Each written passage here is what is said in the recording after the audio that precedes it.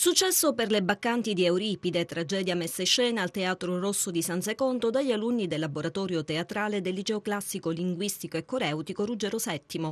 Un'opera impegnativa che ha visto un'attenta analisi del testo originale e il coinvolgimento di circa 90 studenti tra attori, ballerini, musicisti, truccatori e responsabili di sala molti riconoscimenti e mm, soddisfazione da parte dei docenti che hanno seguito i loro ragazzi, dei genitori, delle famiglie che sono state presenti in sala per questa performance finale. Da, 20, da quasi vent'anni effettivamente che svolgiamo questa, questa attività. Quest'anno ci siamo cimentati nuovamente, dopo sette anni per la verità, con un testo molto difficile e molto problematico e abbiamo cercato di dare un taglio completamente diverso alla messa in scena nel senso che è ambientato in un futuro possibile e, Dioniso in sostanza torna a riportare in qualche modo il sentimento e la passione in un ambiente che è ormai dominato soltanto dalla ragione e dalla scienza. Questo è un po' il taglio della tragedia di quest'anno.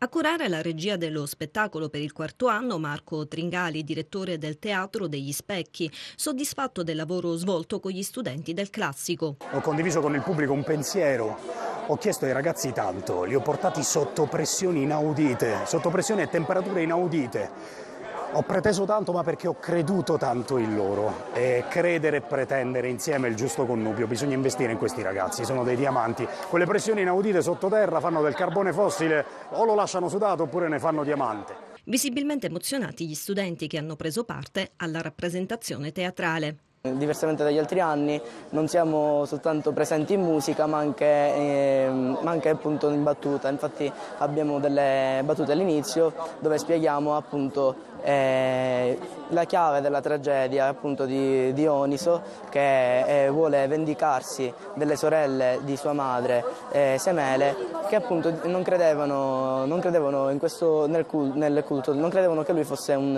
un dio. Ad aprire lo spettacolo il concerto di danza degli alunni della prima classe del liceo coreutico seguiti dalle loro docenti che hanno preparato coreografie ad hoc. E devo dire che questo spettacolo è stato mirato soprattutto all'aspetto tecnico, accademico sia di tecnica classica che di contemporaneo. Consegnati per l'occasione due riconoscimenti alle studentesse Paola Butera per aver partecipato al Premio Nazionale Letterario Colletto di Corleone con la poesia Lettera al Padre e Alessandra Giuliano, seconda classificata con la poesia Il Mobile, al concorso di poesia nazionale Anna Maria Sanzo.